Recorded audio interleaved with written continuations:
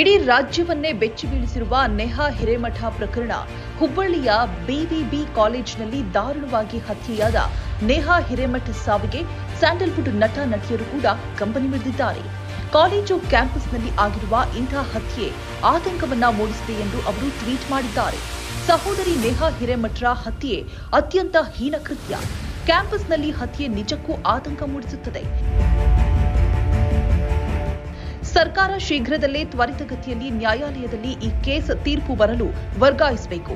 ಹಾಗೂ ಇದನ್ನ ಎಲ್ಲ ಆಯಾಮದಲ್ಲೂ ಕೂಡ ತನಿಖೆ ನಡೆಸಿ ಅಪರಾಧಿಗೆ ಅತ್ಯುಗ್ರ ಶಿಕ್ಷೆ ನೀಡುವಂತಾಗಬೇಕು. ಜೈ ಆಂಜನೇಯ ಎಂದು ಧ್ರುವ ಸರ್ಜಾ ಟ್ವೀಟ್ ಮಾಡಿದ್ದಾರೆ. ಇಲ್ಲಿವರೆಗೂ ನೇಹಾ ಹಿರೇಮಠ್ ಸಾವಿಗೆ ನ್ಯಾಯ ದೊರಕಿಸುವಂತೆ ಆಗ್ರಹಿಸಿ ಟ್ವೀಟ್ ಮಾಡಿದ್ದಾರೆ.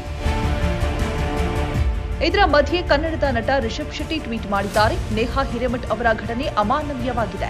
ಇಂತಹ ಘಟನೆ ಮರುಕಳಿಸದಂತೆ ಕಾನೂನು ಕ್ರಮಗಳನ್ನು ತಪ್ಪಿತಸ್ಥರ ಮೇಲೆ ಕೈಗೊಳ್ಳಬೇಕೆಂದು ವಿನಂತಿಸುತ್ತಾ ನೇಹಾ ಅವರ ಕುಟುಂಬಕ್ಕೆ ಈ ದುಃಖ ಭರಿಸುವ ಶಕ್ತಿಯನ್ನ ದೇವರು ಕೊಡಲಿ ಎಂದು ಪ್ರಾರ್ಥಿಸುತ್ತೇವೆ ಎಂದು ಬರೆದುಕೊಂಡಿದ್ದಾರೆ. ನೇಹಾ ಪ್ರಕರಣದ ಪರ ನಟ ದರ್ಶನ್ ಕೂಡ ಧ್ವನಿ ಎತ್ತಿದ್ದು, ಪ್ರೀತಿಯ ಹೆಸರಲ್ಲಿ ಇಂಥ ಅಮಾನುಷಕರವಾದ ಕೃತ್ಯ ಮಾಡಿರುವವರಿಗೆ ನ್ಯಾಯಾಂಗದ ಅನುಸಾರವಾಗಿ ತಕ್ಕ ಶಿಕ್ಷೆಯಾಗಲಿ. ಇನ್ನು ಬಾಳಿ ಬದುಕಬೇಕಾಗಿದ್ದ ಇಪ್ಪತ್ಮೂರು ವಯಸ್ಸಿನ ನೇಹಾ ಹಿರೇಮಠರವರ ಆತ್ಮಕ್ಕೆ ಶಾಂತಿ ಸಿಗಲಿ.